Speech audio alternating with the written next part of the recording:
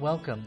It is Friday, and on this wonderful day um, of July the 8th, we share the word. But before we begin, let us begin in prayer in the name of the Father, and of the Son, and of the Holy Spirit. Amen. Amen. O God, who in the abasement of your Son have raised up a fallen world, fill your faithful with holy joy. For on those you have rescued from slavery to sin, you bestow eternal gladness. Through our Lord Jesus Christ, your Son, who lives and reigns with you in the unity of the Holy Spirit, one God forever and ever. Amen. You know, I'm, I, this was one of the first prayers I turned to in the new uh, rite and the Roman Missal. And I said, whoever uses that word abasement?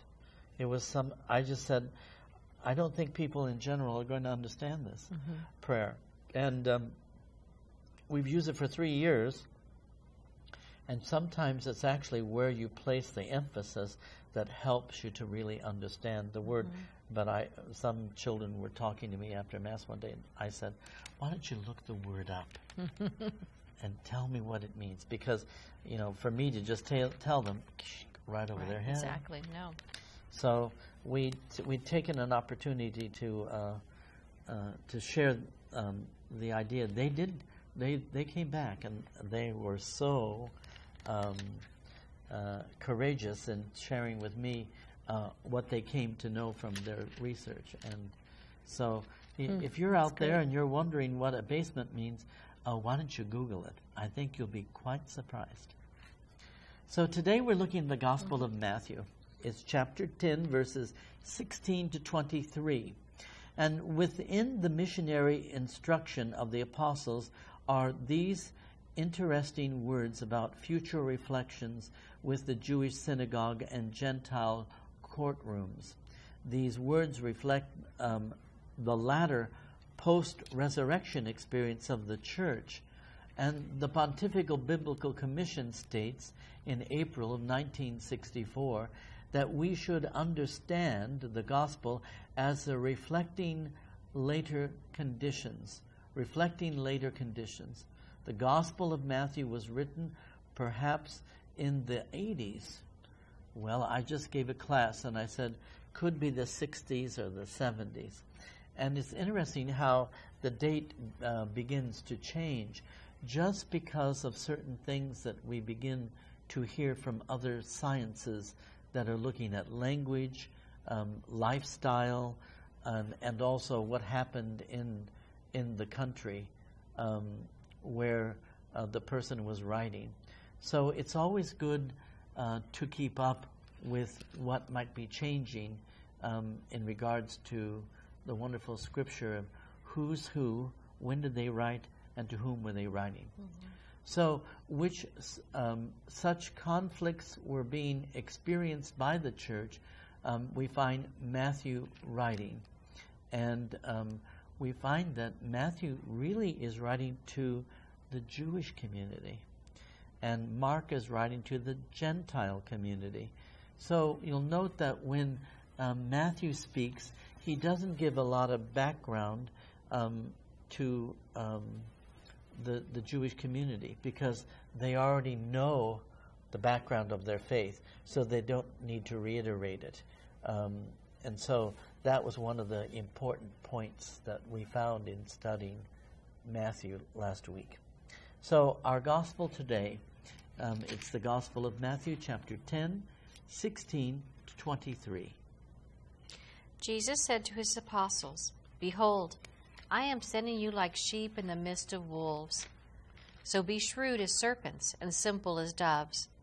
But beware of men, for they will hand you over to courts and scourge you in their synagogues. And you will be led before governors and kings for my sake, as a witness before them and the pagans. When they hand you over, do not worry about how you are to speak or what you are to say. You will be given at that moment what you are to say. For it will not be you who speak, but the Spirit of your Father speaking through you. Brother will hand over brother to death, and the father his child. Children will rise up against parents and have them put to death. You will be hated by all because of my name, but whoever endures to the end will be saved. When they persecute you in one town, flee to another. Amen, I say to you, you will not finish the towns of Israel before the Son of Man comes. The Gospel of the Lord. Praise, Praise to you, Lord, Lord Jesus, Jesus Christ. Christ. So we find here the importance of the fact that um, Jesus is calling the, the disciples um, to go out. And he's sending them uh, out like sheep among wolves. Um, it's at, in other words, he's really saying to them, watch where you're going. Um, take a look at who is caring for you and who are you caring for. Realize that um, that you are important to God and that God will give you what you need. So as they speak, um, as they um, go from place to place, um, they are being called, um, and they'll be called into trial. They'll be called into um, courtrooms where kings sit to give witness before those types of people, but at the same time, being individuals that give witness before all of the, the Gentiles. And they're doing it on the count of Jesus.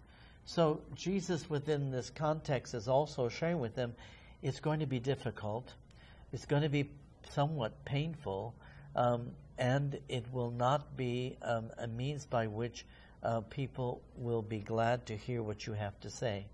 Because in sharing the truth, what we found um, in history of the church is that um, people are not necessarily free and open to share the mystery and the words of the church because they're afraid. They're afraid of what might happen to them. And so they stand back. They don't seem to get involved. Jesus is saying to the disciples that he sends out, um, don't be afraid. Mm-hmm. Go out, profess, proclaim. Be that example in this world of word and deed to those individuals um, who have not heard the word or shared in life. And they gave such an example that their example really changed the world. Mm-hmm. Mm-hmm. And it would be so interesting to to sit down and read some history about the time that um, Matthew is writing and see how even Roman citizens were treated. Um, many of them um, had what we would call second class jobs um, they were Amer- they were Roman citizens, so that meant that they couldn't be crucified, but they could have their head chopped off. Um, they were seen, if they were not from a wealthy family, they were seen as property, mm-hmm. and so people didn't care. The wealthy didn't care for their property. You do what I do, you um, act the way I tell you to, or else. Mm-hmm. That was the simple life of everybody.